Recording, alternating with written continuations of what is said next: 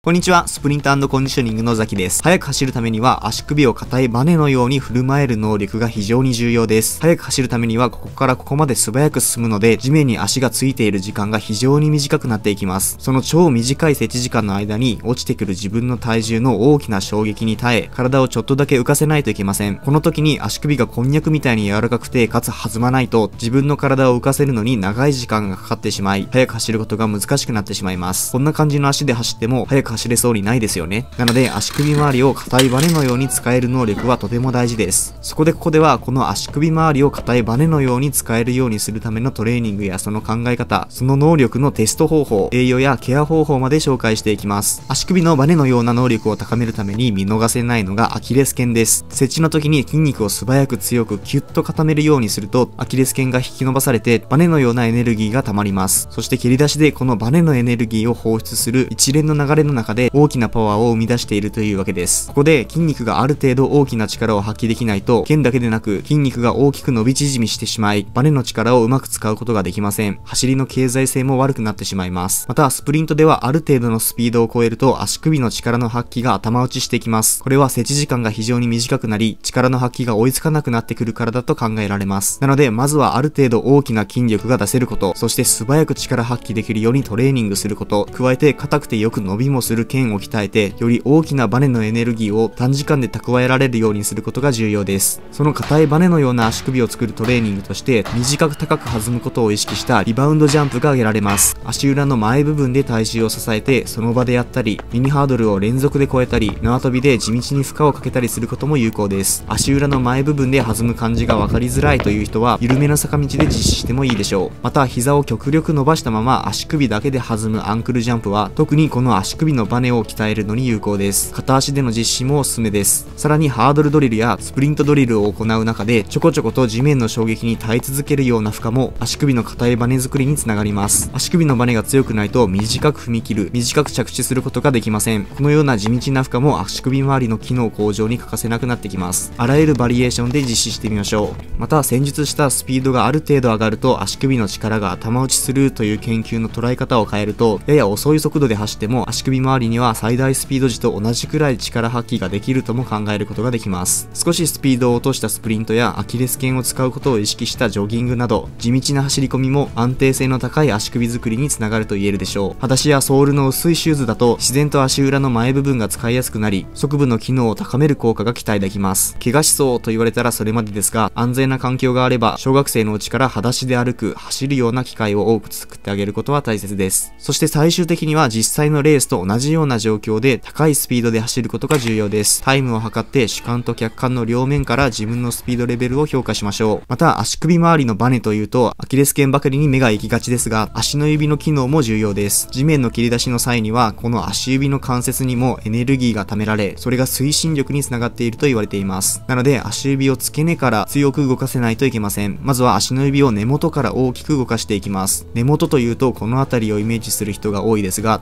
母子球中足部の位置から生えているイメージを持ってください。親指から小指まで1本ずつこのように大きく動かしていくといいでしょう。最後に全体を動かしたり、小さめのボールに足指の人差し指の根元を乗せて、自分で大きくボールを足指の付け根から包み込むように動かそうとトレーニングしてみるのもいいでしょう。次に立って足指の付け根部分の少し前部分で体重を支えます。足の指の根元から指先まで体重を移動させながら、どこに乗せても体重をぐっと支えられるようにトレーニングしてみましょう。このようなチューブを使って足指を根元から使えるようにトレーニングしてみるのもいいでしょう。足指の有名なトレーニングというとタオルギャザーが挙げられますが、しっかり根元から動く力が入るようにトレーニングしないと足指が丸まって逆にうまく使いづらい状況になってしまいます。と、いろいろとトレーニングについて紹介してきましたが、いくらトレーニングを重ねても、実際に自分の能力が伸びているかどうかはとてもわかりづらいものです。その能力の測定におすすめなのが、ジャンプアイという無料アプリです。5回ほどリバウンドジャンプを全力で実施し、そのの設置と位置の瞬間を指定するだけで、簡単にリバウンドジャンプインデックスという能力の指標を得ることができます。これは飛んだ高さを設置時間で割ったもので、短い時間で高く飛ぶことができれば、この記録が高くなっていきます。アンクルホップでやってみたり、片足での指標を取ってみるのもいいでしょう。加えて垂直跳びの記録も推定できます。最後にケアや栄養についてです。側部というのはアキレス腱炎や測定筋膜炎などスプリンターを悩ます怪我が非常に多い部位です。足指の付け根部分の関節を一つずつほぐすようにしたり、関節の動きを良くしたり、温めたりして血流を良くしておくことは怪我を防ぐ、リカバリーのためにも重要です。また、アキレス腱も立派な体の組織です。強くする怪我をしないためには栄養摂取も欠かせません。十分なエネルギー量やタンパク質を摂取するほか、コラーゲンやビタミン C を摂取することで、腱の男性組織の合成を高められそうだと言われています。長期的に強くなるためにはトレーニングだけではなく、栄養摂取とリカバリーにも目を向けて、怪我せずトレーニングが継続できることが大切であるということは言うまでもありません。地道な努力で強い足首周りのバネを手に入れて、パフォーマンスアップにつなげましょう。